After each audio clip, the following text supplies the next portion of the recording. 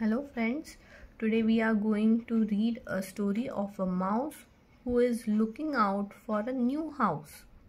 One day a little mouse looked out of the tiny hole where she lived and saw a huge apple. Goodness me, said little mouse, I would like that apple to eat. I must bring it inside. But Although she tried and tried, she couldn't pull the apple through the tiny hole.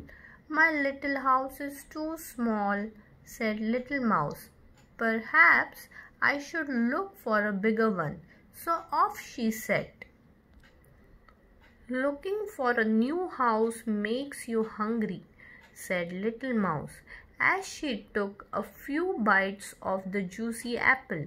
Then she spotted a hole that was just a little bigger than hers.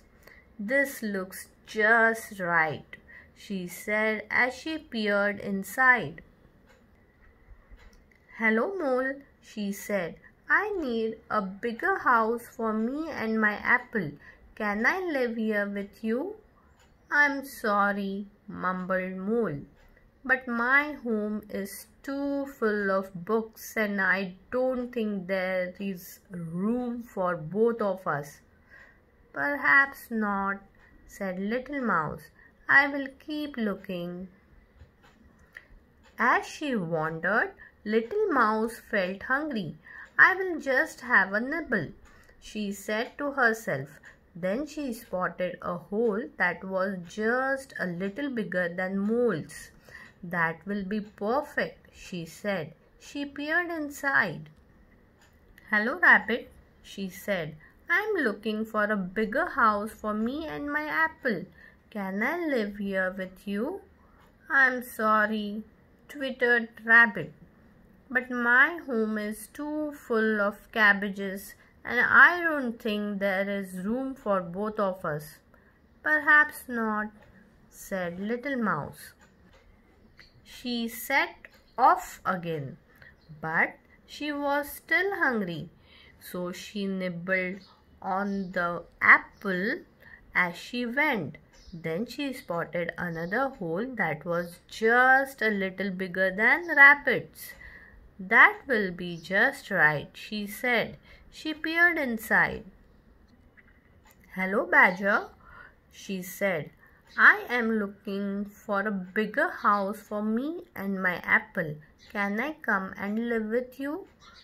I'm sorry, barked Badger, but I stretch out on my cushions all day, snoring a lot, and I don't think there is room for both of us.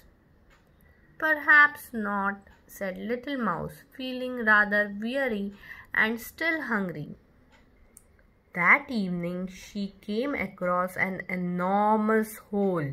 This must be big enough for me and my apple, she thought.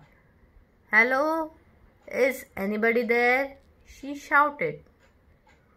Hello, little mouse, growled a huge bear. Why don't you come and live here with me? No, thank you, squeaked little mouse. I think the cave is a bit too small for you and me and my apple. And off she ran. Little Mouse was tired now, but pulling the apple seemed easier. Suddenly she saw a tiny hole. That looks perfect, she squeaked. I wonder who lives here. She peered inside. There was no one at home. Little Mouse went right in and pulled her apple behind her. It fitted perfectly. I knew I would find somewhere just right for both me and my apple, she said, and she climbed into her own bed and fell fast asleep. Good night. Bye bye.